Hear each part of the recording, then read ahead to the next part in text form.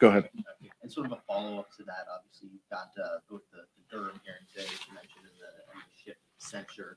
Um, You know, it's, there was a, a significant push by Democrats um, that it was a this possibility that Donald Trump had colluded with Russia during the 2016 election, and that's sort of the, the gist of what Republicans are getting out of this Schiff thing. And it seems like now the you know, investigations have, have run their course, and the, any sort of coordination between those two groups was was not substantiated. So, do Democrats re- regret um, holding that up as a Yeah. as a narrative Yeah. regarding the 2016 election, and, and also to a certain extent its legitimacy? Yeah. Uh, what you just said is false.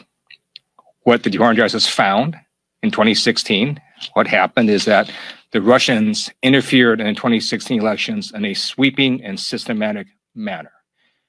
The FBI had evidence that George Papadopoulos, foreign advisor to the Trump campaign, told Australian diplomats that the Russians suggested to the Trump campaign that the Russians would release anonymous information damaging to Hillary Clinton.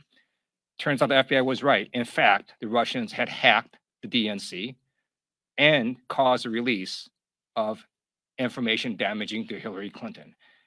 Paul Manafort, Trump's former campaign chairman, later publicly admitted he shared internal Trump campaign data with a Russian spy. And then the US Treasury Department found that this campaign data, which it quoted as sensitive internal Trump campaign data, made its way into Russian intelligence agencies. There is a phrase for what I just described, the facts I just set forth. It's called Russian collusion. That is what history shows, and we're not going to let you or MAGA Republicans revise it.